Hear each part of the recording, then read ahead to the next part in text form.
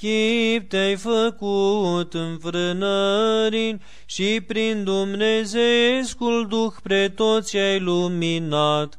Alergarea dreptei credințe o ai săvârșit și cu învățăturile ai luminat lumea și ai mustrat cugetele celor rău credincioși, Părinte cuvioase Grigorie.